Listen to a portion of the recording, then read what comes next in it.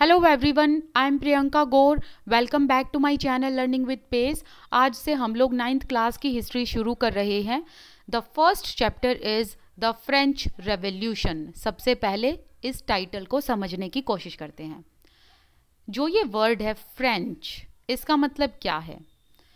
देखिए, अगर हम इंडिया में रहने वाले लोगों की बात करें तो हम उनको भारतीय कहेंगे, इंडियन कहेंगे तो उसी तरीके से जो फ्रांस में रहने वाले लोग हैं, एक तो ये उनकी मातृभाषा है फ्रेंच, ऊपर से ये जो वर्ड है फ्रेंच, ये वहाँ पर रहने वाले लोगों को भी दर्शाता है। ठीक है? तो फ्रांस में रहने वाले लोगों को आप क्या कहेंगे? French people. राइट? जिस तरीके से हम इंडियन हैं, वो फ्रेंच पीपल हैं। इन्होंने एक रेवोल्यूशन शुरू करा था। रेवोल्यूशन का मतलब क्या होता है? जब बहुत सारे लोग इकट्ठे मिलकर कुछ पॉलिटिकल चेंज कर दें। किस तरीके का चेंज पॉलिटिकल चेंज करें। और वो जो पॉलिटिकल चेंज है, वो एकदम सडन हो जाए। मतलब दो या तीन दिन में या मैक्सिमम चार या पाँच दिन में, ठीक है? उसे रेवोल्यूशन कहा जाता है।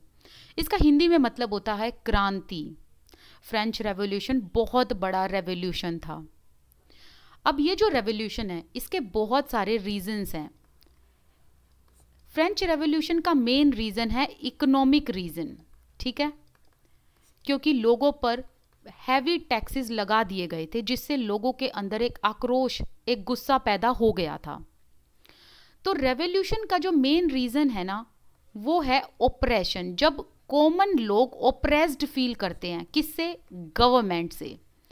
और ये ऑपरेशन किसी भी तरीके का हो सकता है, चाहे वो पॉलिटिकल ऑपरेशन हो या फिर सोशल ऑपरेशन हो या फिर इकोनॉमिक ऑपरेशन हो, ठीक है? किसी भी तरीके का ऑपरेशन जब कॉमन पीपल फील करते हैं तो वो गवर्नमेंट के अगेंस्ट रिवोल्ट करते हैं, जिसे रेवोल्यूशन कहा जाता है। फाइन आई होप आपको ये टाइटल का मतलब समझ में आ गया होगा। अब क्वेश्चन एक ये आता है हम तो हैं इंडिया के लोग तो हम इंडियन रेवोल्यूशन क्यों नहीं पढ़ रहे हैं? फ्रेंच रेवोल्यूशन क्यों पढ़ रहे हैं? रीज़न ये है कि सबसे पहले जो सबसे बड़ा रेवोल्यूशन हुआ था, वो फ्रेंच रेवोल्यूशन हुआ था, जिससे पूरा देश हिल गया था। और इसके बाद अमेरिकन रेवोल्यूशन हुआ। अमेरिकन रेवोल्यूशन के बाद इंडिया में हमें रेवोल्यूशन देखने को मिलता है। सो so, कहने का मतलब है जो भी रेवोल्यूशन अदर कंट्रीज़ में हुए उन्होंने इंस्पिरेशन कहाँ से ली? फ्रेंच रेवोल्यूशन से ली थी। इसीलिए इस रेवोल्यूशन को पढ़ना बहुत ज़रूरी है। चलिए, हमारा चैप्टर शुरू करते हैं। सबसे पहले यहाँ पर एन e में हमें इंट्रोडक्शन पार्ट दिया हुआ है। मेन स्टोरी हम आगे पढ़ेंगे। पहले इंट्रोडक्शन पढ़ते हैं। और फिर जब चैप्टर ख़त्म हो जाएगा, तब हम चैप्टर को स्टोरी की फॉर्म में समअप कर लेंगे। राइट तो एन e में जिस तरीके से दिया हुआ है, उसी तरीके से हम पढ़ते हुए चलेंगे। चलिए। फ़र्स्ट लाइन है on the morning of fourteen July 1789 the city of Paris was in state of alarm तो यहाँ पर जो ये फोर्टीन जुलाई 1789 ये डेट एंड ईयर दिया है, ये आपको याद रखना ही रखना है इम्पोर्टेंट है। तो फोर्टीन जुलाई 1789 की सुबह सिटी ऑफ़ पेरिस पेरिस शहर में एक अलार्म की स्टेट देखने को मिलती है। पेरिस क्या है? ये फ्रांस की कैपिटल है। और पेरिस शहर में एक हमें स्टेट ऑफ़ अलार्म देखने को मिलता है। स्टेट ऑफ़ अलार्म का मतलब क्या है? मैं यहाँ पर बार बार कलर इसलिए चेंज कर रही हूँ ताकि आपको कंट्रास्ट में कलर दिखते रहें। स्टेट ऑफ़ अलार्म का मतलब होता है एमरजेंसी या फिर जब कोई शहर डेंजर में हो तो इस फ्रेज को यूज़ किया जाता है। कौन से फ्रेज को? स्टेट ऑफ़ अलार्म को।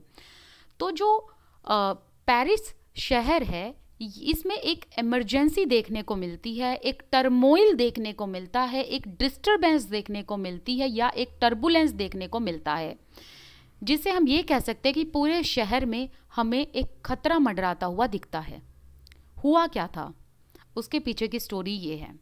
The king had commanded troops to move into the city troops का मतलब क्या होता है? जो राजा की सेना होती है, जो सैनिक होते हैं या जो फौज होती है। ठीक है?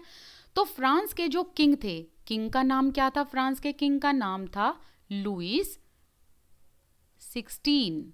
ठीक है? ये भी आप याद रखेंगे।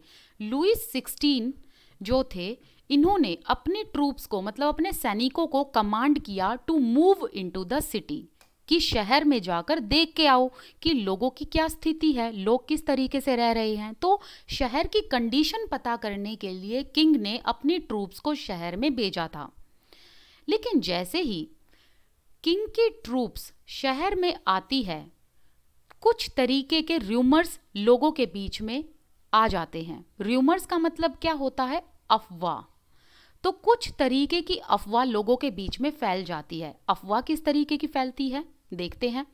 Rumours spread that he would soon order the army to open fire upon the citizens तो अफवाह फैलती है कि जो राजा हैं, इन्होंने अपनी ट्रूप्स को इसीलिए भेजा है ताकि शहर के लोगों पर ये ओपन फायर करवा सके या ओपन फायर कर सके। ओपन फायर का मतलब क्या है?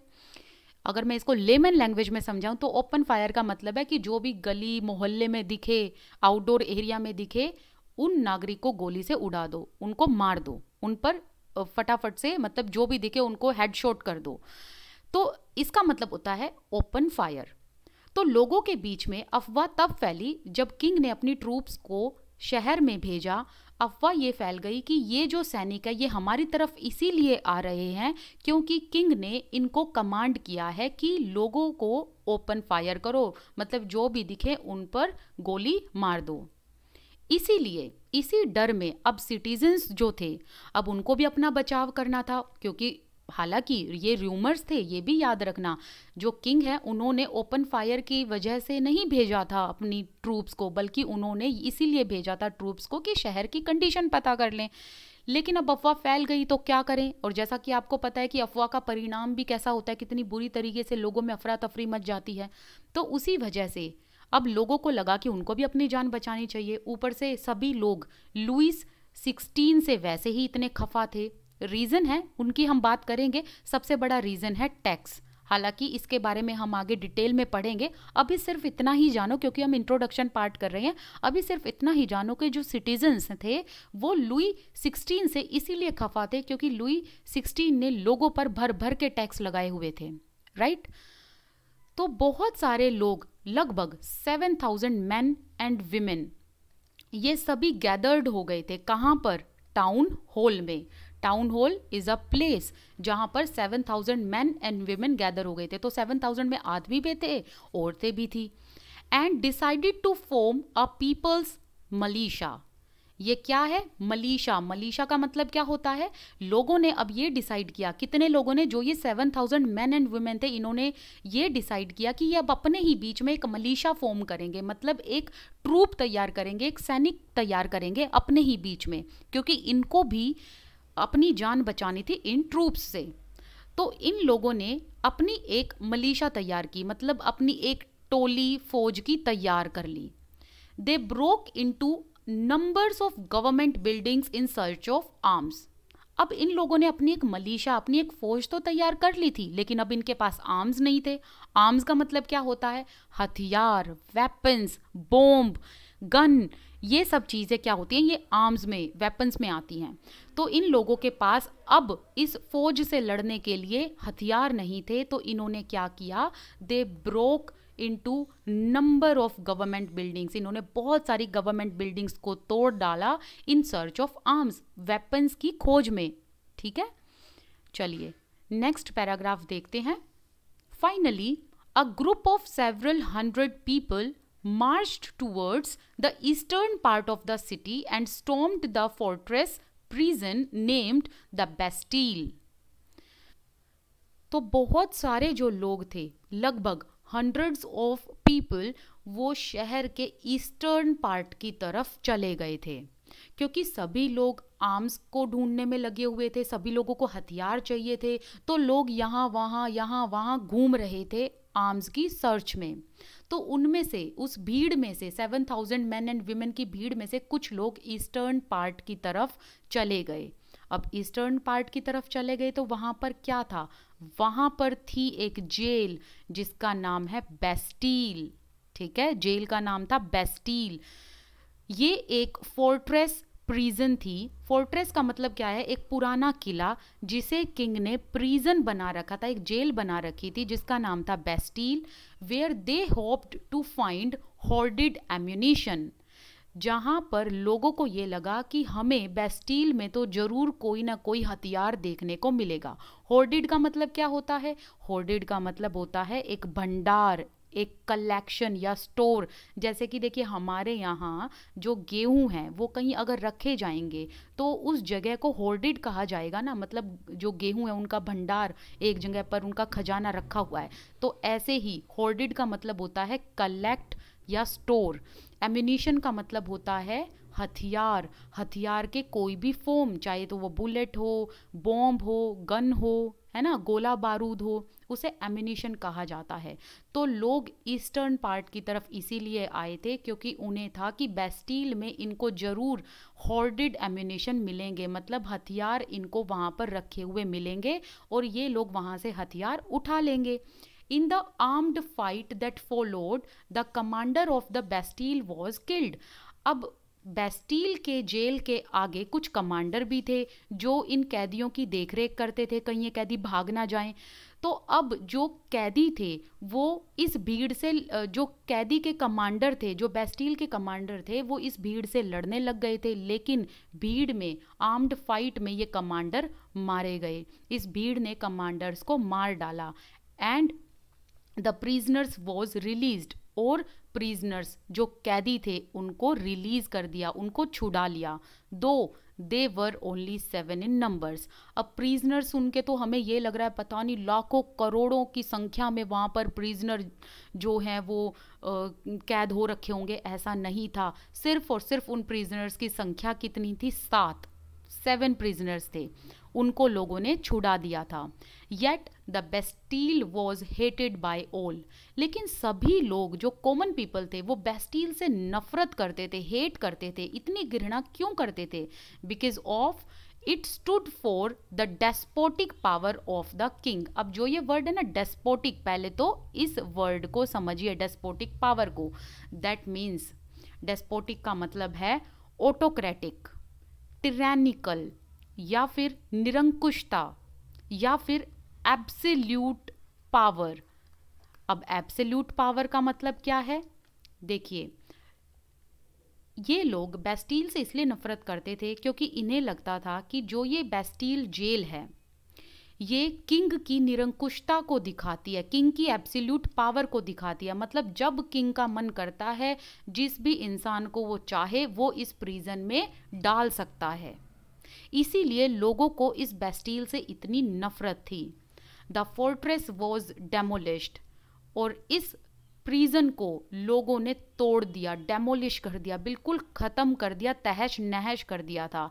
Its stone fragments were sold in the markets to all those who wish to keep a souvenir of its destruction देखिए, जो ये बेस्टील का, कि बेस्टील का जो ये जेल थी, ये फोर्ट्रेस थी, इसके स्टोन फ्रेगमेंट्स मतलब जो इसकी ईंटें थी, उन तक को निकाल डाला था लोगों ने ईट तक का भी नामो निशान नहीं छोड़ा था और उन ईटों को निकाल कर मार्केट में बेच दिया था। अब आप सोचेंगे क्या इन्होंने मार्केट में पैसों के लिए बेचा था? क्या इसलिए बेचा था कि लोग अपना घर बना सके? नो इसीलिए बेचा था ताकि वो एक डिस्ट्रक्शन का सुवेनियर रख सके मतलब एक याद रख सके। सो so, इसका मतलब क्या है कि जो फोर्ट्रेस है उसको डेमोलिश करके इसकी एक एक स्टोन को मार्केट में इसीलिए बेचा ताकि उस डिस्ट्रक्शन को यादगार चीज़ के तौर पर रखा जाए। एक रिमाइंडर के तौर पर एक एक ईट को अपने पास रखा जाए। नेक्स्ट पैराग्राफ है। The days that followed saw more rioting both in Paris and the countryside most people were protesting against the high price of bread अब फोर्टीन जुलाई के बाद पेरिस में एंड पेरिस के आसपास जितने भी कंट्री साइड थे, जो भी विलेज के इलाके थे, उन सभी में हमें रायट्स देखने को मिले। रायट्स मतलब वॉयलेंट नोइस लोग अभी भी भड़के हुए थे तो हमें दोनों ही जगह पर कंट्री साइड में भी, शहर में भी राइट्स देखने को मिले। लोग प्रोटेस्ट कर रहे थे। For what they were protesting against the high price of the bread देखिए, हमारा जो स्टेपल फ़ूड है, वो क्या है? वीट राइस सो इसी तरीके से वहाँ का फ्रांस का जो स्टेपल फ़ूड है, वो है ब्रेड तो किंग ने क्या करा कि जो ब्रेड है, इस पर भी टैक्स लगा दिया था। और खाने पर टैक्स लगा दिया। खाना जो है वो बहुत महँगा हो गया था। इनफैक्ट जो इनका स्टेपल फ़ूड है, वो इतना महँगा हो गया था। लोगों के पास खाना खाने के लिए एक ब्रेड भी नसीब नहीं होता था। तो इसीलिए लोगों ने प्रोटेस्ट करना शुरू कर दिया था। And much later when historians looked back upon this time they saw it as the beginning of the chain of events that ultimately led to the execution of the king in France और बहुत सारे historians जब in history को पढ़ते हैं French revolution की तो वो ये कहते हैं कि ये जो रेवोल्यूशन है, ये एक इस तरीके की चेन है जो रेवोल्यूशन तब एंड हुआ जब जो किंग थे फ्रांस के, जब उनका एग्जीक्यूशन हुआ। मतलब उनको फांसी दी गई पुट टू डेथ एग्जीक्यूशन का मतलब क्या होता है? पुट टू डेथ तो जो किंग थे, उनको फांसी दी गई, तब जाकर ये रेवोल्यूशन ये राइट्स ख़त्म हुए थे। Though most people at the time did not anticipate this outcome anticipate का मतलब क्या होता है? एक्सपेक्ट करना। हालाँकि बहुत सारे लोगों ने तो इस चीज़ को एक्सपेक्ट ही नहीं किया था कि लास्ट में जो किंग है, उनको एग्जीक्यूट कर दिया जाएगा। किस किंग को? लुइस सिक्सटीन को। How and why this happen अब हम आगे ये पढ़ेंगे कि ऐसा क्यों हुआ। इसके पीछे रीज़न क्या था? अब हम पूरी स्टोरी जानेंगे। तो आज का ये सिर्फ़ पार्ट था इंट्रोडक्शन पार्ट अब हम नेक्स्ट वीडियो में मेन स्टोरी को जानेंगे। आपको ये सीरीज़ ये अगर आप चाहते हो, मैं कंटिन्यू रखूँ तो आप मुझे कमेंट सेक्शन में ज़रूर बताइएगा। आपको ये आज का सेशन कैसा लगा? प्लीज़ मुझे कमेंट सेक्शन में अपने रिव्यूज़ ज़रूर दीजिएगा। आप मेरे साथ टेलीग्राम ग्रुप पर जुड़ना बिल्कुल मत भूलना and you can follow me on Instagram as well आप इंस्टाग्राम पर डायरेक्टली मुझे डीएम कर सकते हैं, अपने क्वेश्चंस मेरे साथ रख सकते हैं, अपने डाउट्स रख सकते हैं। Thank you so much this side Priyanka Gaur I wish you all the best keep learning